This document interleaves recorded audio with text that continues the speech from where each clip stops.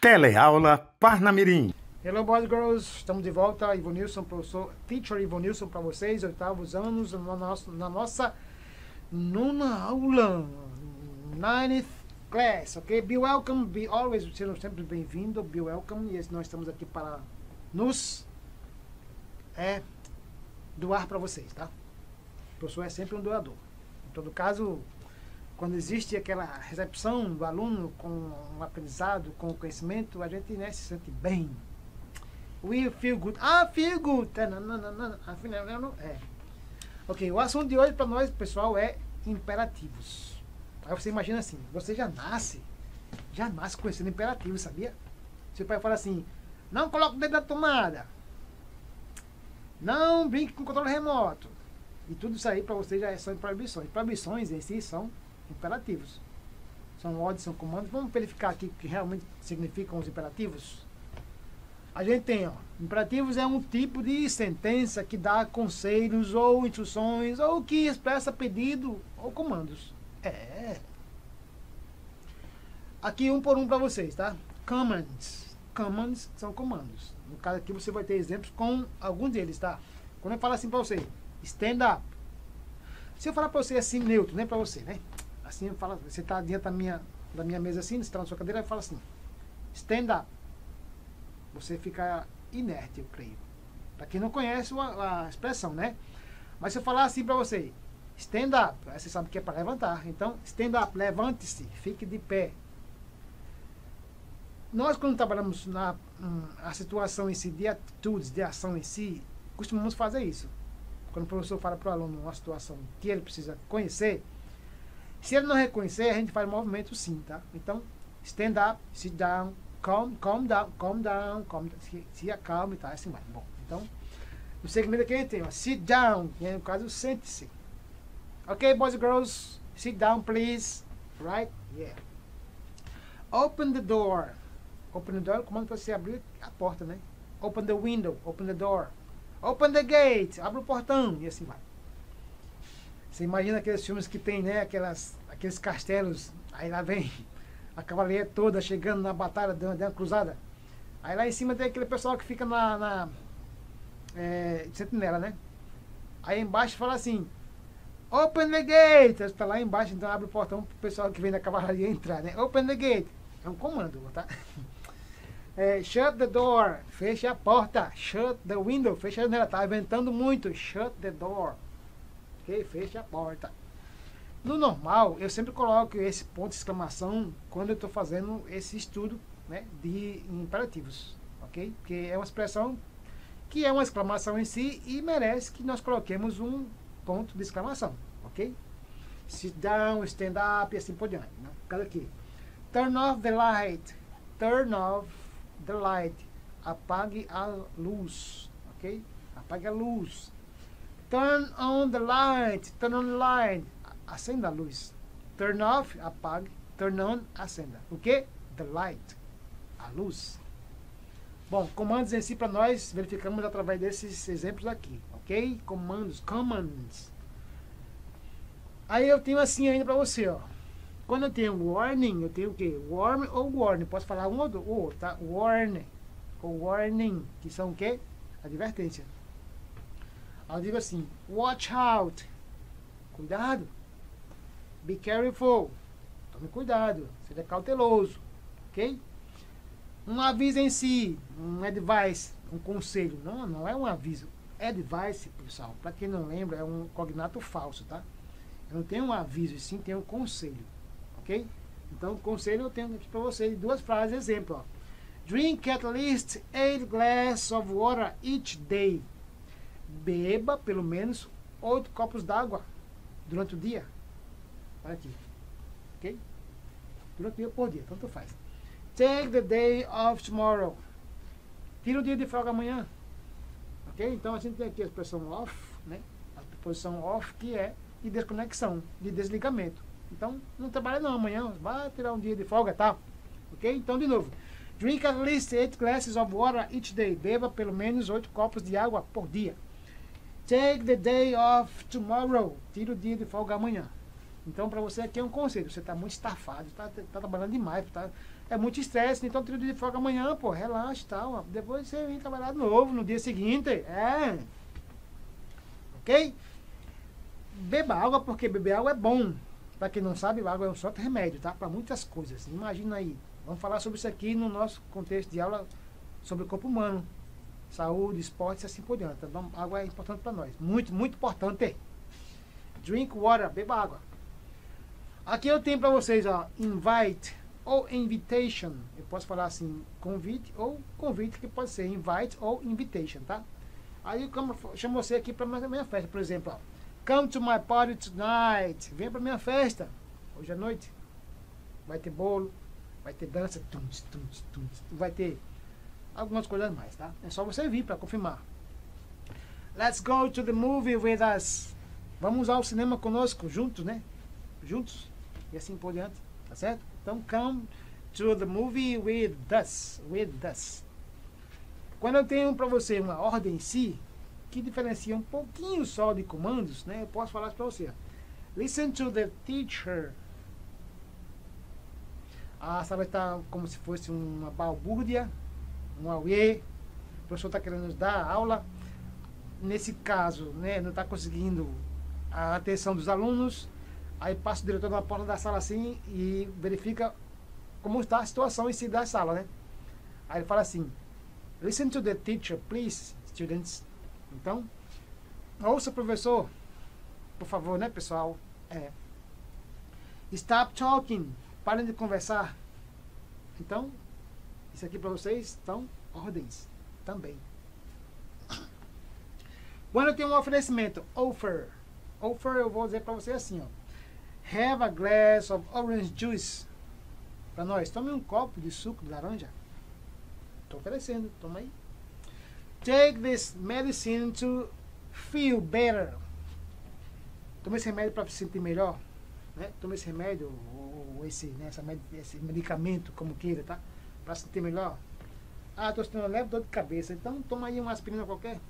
Ok? Então é para você um oferecimento em si do suco, que nos é benéfico, é bom para gripe, e o remédio que é bom para você se sentir bem do que, do que está sentindo mal.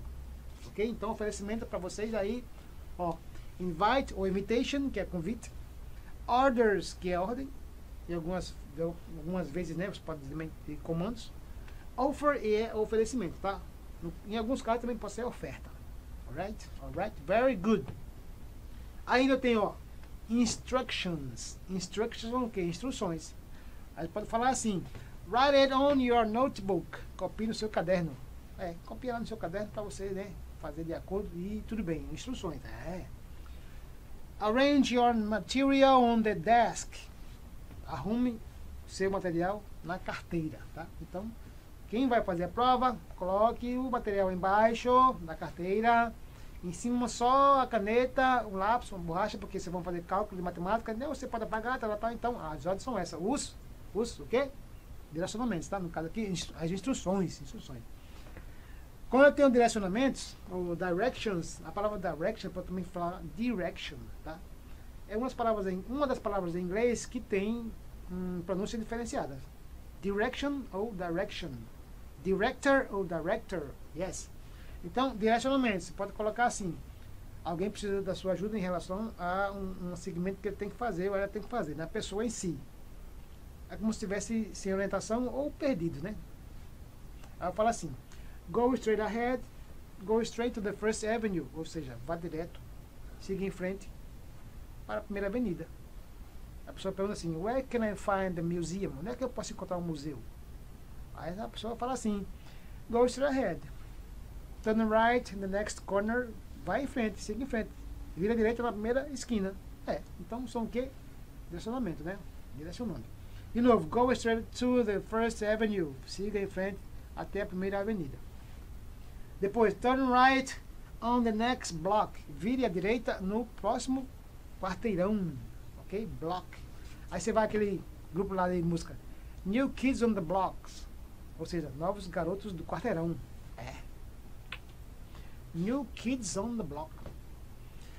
No segmento eu tenho aqui, para você saber que os imperativos em si podem surgir de verbos. E vocês têm a negativa também.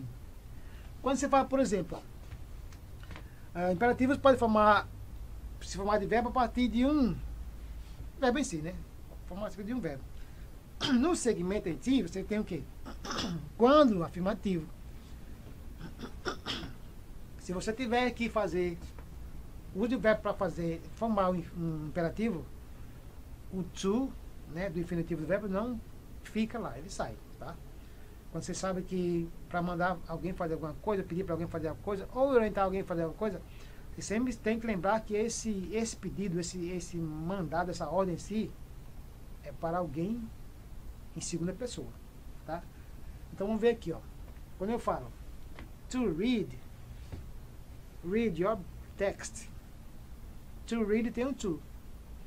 Read your text? Não, não tem o to. Então, ler, leia seu livro, seu texto nesse sentido.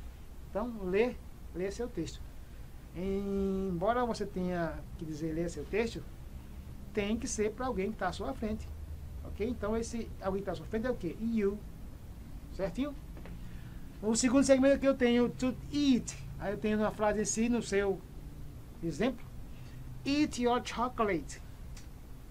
Como se chocolate, né, no caso. Então eu peguei o verbo to eat, que é comer, coloquei como se chocolate. Aí você vai usar esse to para o verbo em si, para deixar infinitivo. Mas quando você vai formar o imperativo com o verbo que você escolheu, não esqueça, tire o to, ok? Aí você vai saber também que o imperativo indica que o sujeito, you, ó, está subentendido. Only you can break my heart in two. Só que isso não é, isso não é um imperativo, tá? É só um, uma música. Um verso da música. Então, quando negativo, indica proibição. Aí eu falei para você no início, né? Não mete dedo na tomada. Não brinque com o controle remoto. Isso aí são, são imperativos, né? Então, quando eu tenho que usar o não negativo, eu tenho que uma proibição, pessoal. Atenção, né? Vamos assim com o auxiliar do, mas not, que posso colocar don't, ou no, junto ao verbo com ing. Ou seja, esse no, eu vou colocar, por exemplo, no smoking, proibido fumar. Smoking. Você fala no smoke, fica como se fosse sem fumaça. Mas no smoking, proibido fumar. Não fume. Yes? Vamos ver aqui, ó. Do not answer the phone. Não atenda ao telefone. Então, do not posso colocar também don't. Não atenda o telefone. Agora não é hora de telefone, não. Agora é hora de estudar. Ok? Ainda, don't speak loud. Não fale alto. Essa aqui é uma biblioteca. Não fale alto. Fale baixo. No smoking. Né? Proibido fumar. Se tem isso aqui, de vez em quando você verifica isso aí, em lugares que são fechados, em ambientes fechados. Então, não é permitido fumar, porque fumar é prejudicial à saúde. Yes, ok, good. Então, ó, aqui são bases para você saber lidar com os imperativos quando na sua formação, tá? Formar-se um imperativo a partir de quê? De um verbo, sem deixar o to infinitivo, tá? Então você verifica direitinho para entender bem quando vier exercício, você saber fazer e tirar de letra, né? Tirar de letras, yes. Vamos ver mais alguns outros imperativos que você precisa conhecer no seu dia a dia e também fazer uso, de vez em quando, quando precisar, né? Fazer uso, é, muito bem. Então, some other examples. Outros exemplos, né, com imperativos. Então, diga assim, ó. Pay attention. Presta atenção. Shut up. Cale-se. Come in. Entre. Silence. Silence. Ok? Silêncio. No swimming. Proibido nadar. Go out. Go out. Saia. Get lost. E assim vai. Make your bed. Make your bed. Não seja bagunceiro. Então, não deixe seu quarto uma mess. Uma bagunça. Mess, bagunça. Então, make your bed. Arrume sua cama. Clean your shoes. Vai entrar dentro de casa? Limpe o sapato antes. Então, limpe seus sapatos antes de entrar. Clean your shoes before you enter house. Brush your teeth teeth. Escova seus dentes. Comeu doce? Escova os dentes. Ok? É benéfico. Take a shower. Tome um banho. Seu cascão. Cascão não toma banho, mas você tem que tomar. Você é cascão, então tome banho. Take a shower. Tomar banho é benéfico para a saúde também, tá? Bring the report to my room, please. traga o relatório à minha sala, por favor. Ok? Está aqui, ó. Entendo que o imperativo, por ser um comando, uma ordem, um pedido, um, algumas coisas mais, né? Você viu aqui. Quando você tiver que usar o please, que é quase que sempre, você está usando né, de uma forma bem formal, bem educada para se, digamos, dialogar com alguém. Tá? Então, ó, o imperativo fica mais educado quando se usa a palavra please. Please take a shower. Please turn on the TV. Please pay attention. Listen to the teacher. Por favor, escute o professor, preste atenção. Entendeu? É, bacana. Bom, nossa aula de hoje é só isso aqui, porque, né? É um assunto básico, breve e estamos no final. Ó, como sempre, você já sabe, né? Aquela frase básica no final da aula que diz assim: Não deixe de ouvir os mais velhos. Há sempre algo que vale a pena ouvir e valorizar, tá certo? Então, vocês que são ainda infantos ou aspirantes ao conhecimento e o crescimento intelectual, filosófico e assim por diante, porque se você é alguém na vida, eu creio, acredito, sigam o professor Ivo Nilson quando ele fala isso, ok? Por enquanto é só, nos veremos na próxima aula e até a próxima. Bye bye, see you!